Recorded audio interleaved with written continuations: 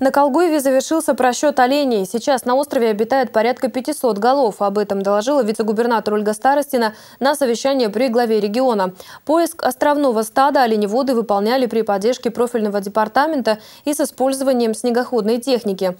Просчет оленей на острове не проводился уже более пяти лет, с тех самых пор, когда на Колгуеве наблюдался массовый падеж животных.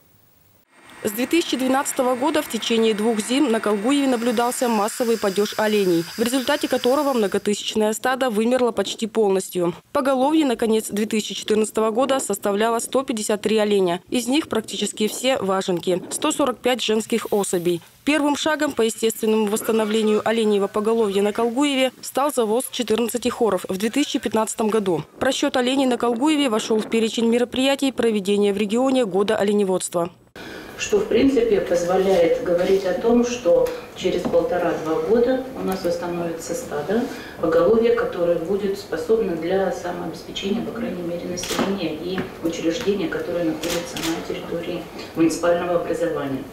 Поэтому вопрос о том, что в этом году необходимо завозить дополнительно оленей, вот мы хотели посмотреть, необходимо это или нет, то вот рабочая группа пришла к рекомендации о том, что достаточно э, поддержать хозяйство у нас этот год и завозить оленей нет необходимости.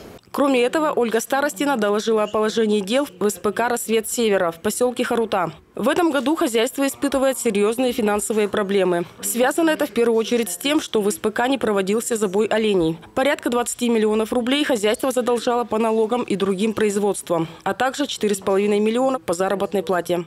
Доходов никаких нет. Земля передана в третьи лица ООО Татком. 26 по земле будет суд апреля. 26 апреля э, на контроле юристов АПК, департамента АПК. Ну, говорим о том, что в принципе решение будет положительное в пользу СПК. По словам Ольги Старостины, для того, чтобы впредь у оленеводов не возникало таких проблем, в рамках действующего законодательства следует вносить в договоры аренды пункт о том, что оленьи пастбища передаются в пользование третьих лиц только с согласия окружных властей. Александр Цибульский предложение поддержал и рекомендовал не затягивать с решением данного вопроса, отметив, что в год оленеводства необходимо уже переходить к практической реализации запланированных мероприятий.